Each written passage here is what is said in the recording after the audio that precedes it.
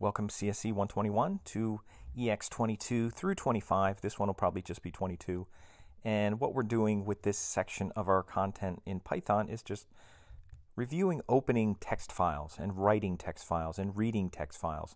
All those kind of things we'll do here. And it's not the most exciting thing in the world, so we'll run through it pretty quick. Uh, these are the instructions here, and we'll, I'll probably even change some of these things because some some things have changed since I since we did this in class and since I was working on the video.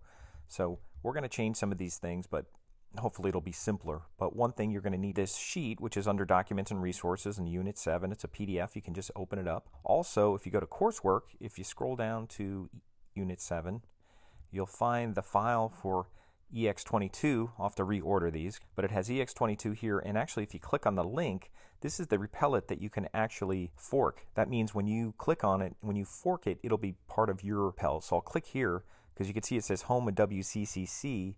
It's part of that but I'm actually logged in as Homa RCN, my different account. So if I fork it, you can see it'll be part of Homa RCN. And if you fork it, it'll be part of yours. And what's going to be in here, there's already going to be a text file in here that has this QB data text. You can either drag and drop a text file in here. You can make a new file. They have a little button here. You can make a file, and I won't do it right now, but you can copy and paste text right into it. You could do this, and I'll just put sample.txt. You can do this, and you could go to this is the chapter we're working on, and wherever you found this stuff, I mean, you, you could go, you could highlight this whole thing, copy it, and come back to your Repl, and go in here for sample text and paste it, and then you'd have another version of it in there. So that's one way to do it, but I'm giving you one that you already have in here, so I'm going to delete this one. And you're going to be working on your Python file, which is the main.py. And I have it stacked right now, so it'll be easier to see. And I'm going to just copy this first line because this is the most important. This is the way you open a text file through Python. So I'll just paste this in here. And again, we're setting a variable that's running this open function. And notice that you have to have the file name, which is the same as that. And it has to be in quotes. And you have to have a comma. And then you're going to tell how you're going to open it. And we're going to use R. You can use R for reading, W for writing. There's also A for uh, amending it but we're going to start with R right now. And notice they're all in quotes. They could be double or single quotes. And the first thing you can do here, just to mess around and try it out and see what happens, is just print out uh, using the read function. And by using this variable, by using this variable, it'll make some of our other statements a little easier to write. So we could just say print qb file.read, and that's just representing open, you know, that open file. If I print this out, you can see there's the whole file beginning with Colt McCoy. There's also a couple other things. There's read line that you could run, which does one line. There's read lines that you could do, which does all the lines. It also shows you all the commas, all the, the line breaks, and everything that's in there, the things that the hidden characters that you don't normally see. Those line breaks are what Python will use to kind of see where there's a new line.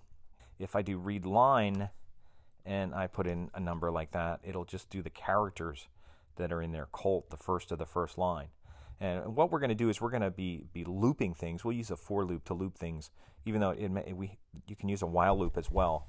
But I think we'll just start with a for loop. And some of these things here, I'll just show you what this is really quickly. If I did this twice, if I did this read line twice, it would return two names for me. It would print out two names for me. And if I'd actually make a variable, and I'd say line equals and if I did that and then I printed line, too many parentheses here, and always, when you see those red wavy lines, always check it out because they're never wrong. It's always something you did. So if I print out line here, now it's printing out Michael Vick, and if I print line again, it's going to keep printing that variable that I created. So that's all. That's all to be aware of there. From that's just the first part. Now this second part here, and I actually want you to, well, you you could use this thing here. Let's just use this just to show what happens because this is something I saw afterwards. And I'm going to get rid of all these things here. And if you say for i, if you just iterate through QB file, and you say line equals that, and then you kind of create a variable here, what's going to happen? It's going to print it out, except it's not going to print Colt McCoy. It almost goes through the first line before it realizes there's a line, and then it starts with the next one. So what's actually easier here is actually, if you wanted to print everything, it would be actually easier just to print i and then it would just print everything. Or you could do something in range.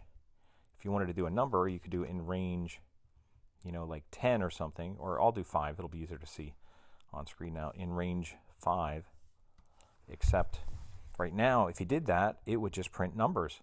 So you'd make sure that you, we did that line thing. Let me put that back in there. And now if you print line, it'll do that range. And let's just see what comes out by doing that. So for i in range 5, line equals that, print line. Okay, so now it's doing the first five. It's starting with 0, 1, 2, 3, 4, 5. And if you're not sure, look over here and you can see McCoy, Freeman, Vick, Schaub, and Rivers are the first five in that list. What you also should do at the end, and if we use the with, there's another method where you could use with that we'll do for the other exercises. You can actually just put qb file dot close and make sure that you close it at the end. For what we're doing here in Replit, you're not going to really see much um, but you but you want to close, especially if you're working locally on a machine, you want to close it. Okay, so that's what's happening there. So we can print a number, we can do that, and let's just check out our exercises here. We're going to do this thing. Skip the while loop right now, and even if you look at this is I think 11.4. If you go down here, they have this. They have it exactly in a for loop, and the for loop works fine because we could still pick out numbers. We could still choose how many lines. We could run through all the lines. So I'm just going to do this. I'm just going to copy this to save some time and not use the while loop right now. I'll put that in there and just replace this. Now I got to change what I have because it was now it says for a line in QB file if you want to change it to line because that's what I've been doing. Just make sure you, you're consistent everywhere. And what they're doing here is they're saying QB file. Now I don't think we need a space here or a space here. I'm going to get this out even though it's copied right from how to think like a computer scientist. I don't think we need a space there. The comma in this print setting will automatically put a space unless you wanted more, unless you wanted an extra one there. But that should be fine. So what's actually happening here? It's taking, it's creating a new list called variable called values, and it's splitting the line. So each line it's splitting and it's making a list. So there's going to be a values list, multiple lists name values. It's just going to keep recreating it as it goes through this loop and it's looking at values as this being 0. So if you look at each line as a list, this is going to be 0, 1, 2, 3, 4, 5, 6, 7, 8, 9, 10. So we're using 10 and we're using 0 and 1. We're saying Colt McCoy has a QB rating of 74. And you can actually has a blank, you could use QB, but we're just going to put a string in of QB. Um, although that QB is always the third one, unless somebody has three names we could try just va varying it a little bit. This could this could really be values three. That should work fine too. So again, we're going to say for line in, or you could say for line in QB file, values equals that. And I think you can also do, we didn't create a variable for line, but I guess it's just, it's just using, this could be, I guess this could be I if you want. Like what we're doing here, you could say I, and this could be I, really, and that's fine. So so we're not really creating a variable of line or anything, and same thing, that's just like a temporary one that's in there. I'll keep it as line, which is which works fine. We didn't create a variable here that's a read line or anything like that. So we're just going through and doing that, so it's just splitting it. So now we can't tell how many lines right now. So far it's just printing everything out, and that's fine. Now if you wanted to do a, a range, we could change that. So let's just let's just skip over this right now. And we're going to do something on the next page. It says says comment out your for loop and create a while. Let's just leave the for loop. See if we could do this with a for loop. And we're going to print out the number of lines printed.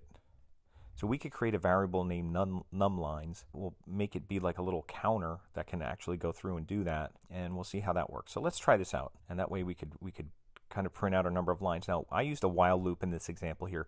Let's see if we could do it with a for loop. We'll just try it now. I'm going to say for i in range Let's see if this will work if we use just i in here. And what we should do is say line equals read line and make sure you put qb file before it. Dot read line. And here I'll do line. And we'll just oh, oh, our only issue is that may, that it won't get the first line. But I think when we did a number it did. So hopefully that works. So we're saying we're going to run through eight times just like we do making polygons and stuff with turtles. And we're going to create a variable here that represents reading a line. And then values is going to represent the list that's going to be created, you know, and I'll just put here creates list. And let's see what happens now. And there we have eight. And that's actually what we want. So that works just as good as doing the while loop. I think we have eight if we count them down here. And it has Colt McCoy, the first one. One, two, three, four, five, six, seven, eight. So we have eight here. And if we wanted to put a counter in here, we could just put num lines, I think I called it. And I'll make it zero. I'll put it in here. I'll do it after this so that it generates one after it actually creates it. So I'll, I'll say num lines equals, and actually equals plus equals 1, so it adds. And then at the very end here, I'll just put print num lines. So that should print at the end of everything. So let's see what happens here. So again, we're making a little counter here. After it creates a line, we're saying, okay, add to that, and then hopefully it should print out how many we have. And there it says 8. And obviously you could put make it a string or whatever. And let's try 12. And there's 12. Let's try let's try 50. Let's just see what happens. Okay, so it went out of the range. Looks like we had a problem here because it did go to the end, but it had it went out of the range. So you had an issue if it went over. Whereas if you had a while loop, it would know to stop. We would have to know here that we had 30, 34 here unless we put something, put it at 34. You should be able to get 34. And that's, that's the most you can get. If you put 35, you're going to get an error.